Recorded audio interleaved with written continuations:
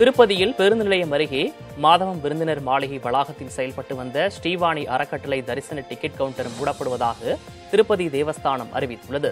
ஸ்ரீவாணி அறக்கட்டளைக்கு பத்தாயிரம் ரூபாய் நன்கொடை வழங்கும் பக்தர்களுக்கு ஐநூறு ரூபாய் கட்டணத்தில் விஐபி தரிசன டிக்கெட் வழங்கப்பட்டு வந்தது. இந்த நிலையில் சாதாரண பக்தர்கள் வசதிக்காக ஸ்ரீவாணி அறக்கட்டளை தரிசன டிக்கெட் கவுண்டர் மூடப்பட்டுள்ளது.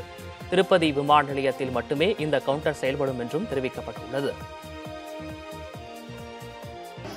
கோவை மாவட்டம் வால்பாறையில் உள்ள அரசு கலை மற்றும் அறிவியல் கல்லூரியில் பயிலும் மாணவ மாணவிகள் சமத்துவ பொங்கல் விழா கொண்டாடினர்.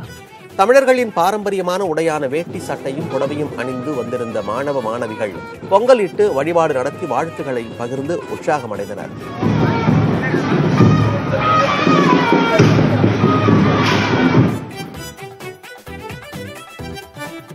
திருப்பூர் மாவட்டம் உடுமலையில் விவசாயிகள் வருவாய் கோட்டாட்சியர் அலுவலகத்தில் உள்ளிருப்பு போராட்டத்தில் ஈடுபட்டனர். வனப்பகுதியை ஒட்டியிருக்கும் விவசாய நிலங்களில் பயிர்களுக்கு பாதிப்பை ஏற்படுத்தி வரும் காட்டுப்பன்றிகளை வனவிலங்கு பட்டியலில் இருந்து நீக்க வேண்டும் என்பது உள்ளிட்ட கோரிக்கைகளை முன்வைத்தனர். முத்ரா லோனுக்காக நூத்துக்கணக்கான பேங்க்குக்கு தெரிஞ்சு டயர்ட் ஆயிட்டீங்களா? ஈஸியா பத்து லட்சம் முத்ரா லோனை வாங்குறது எப்படின்னு கத்துக்கணுமா? ஃப்ரீடம் ஆப்பை உடனே டவுன்லோட் பண்ணுங்க. வருவாய் கோட்டாட்சியர் ஜஸ்வந்த் கண்ணன் தலைமையில் அதிகாரிகள் பேச்சுவார்த்தை நடத்தி உரிய நடவடிக்கை எடுக்கப்படும் என்று உறுதியளித்தனர் முத்ரா லோனுக்காக நூத்துக்கணக்கான பேங்க்குக்கு தெரிஞ்சு டயர்ட் ஆயிட்டீங்களா? ஈஸியா பத்து லட்சம் முத்ரா லோனை வாங்குறது எப்படின்னு கத்துக்கணுமா?